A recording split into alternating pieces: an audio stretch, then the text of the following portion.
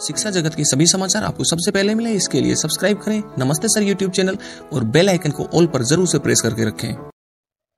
नमस्ते sir YouTube channel के नए वीडियो में आप सभी का स्वागत करता हूँ, जिसमें हम बात करने वाले हैं। एक अक्टूबर से जो समय परिवर्तन होने वाला है, उसको यथावत रखने की मांग की गई है। लेकिन साथियों, आपकी क्या राय है? आप सुबह का सात बजे का समय रहना ठीक रहेगा कि सुबह दस बजे से चार बजे तक का समय होना चाहिए?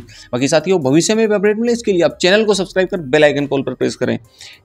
राजस्थान शिक्षक संघ राष्ट्रीय ने अक्टूबर में स्कूलों का समय सुबह साढ़े सात बजे से एक बजे तक रखने की मांग की है। प्रदेश के महामंत्री महेंद्र लखारा ने शिक्षा मंत्री को इस संबंध में ज्ञापन भेजा है।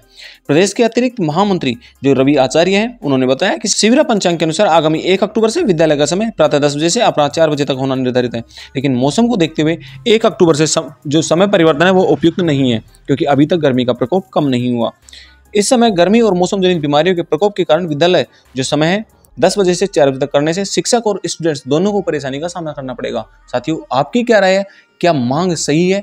या सुबह दस बजे से चार बजे तक का समय सही रहेगा? आप कमेंट सेक्शन में ज़रूर से लिखें, बाकी नए हैं तो सब्सक्राइब ज़रूर से करिएगा चैनल को। अन्य कार्मिक साथियों के साथ शेयर ज़रूर से करिएगा। धन्यवाद, आज के लिए इतना ही, मिलते हैं नई जानकारी के साथ, तब तक के लिए जय हिंद भारत।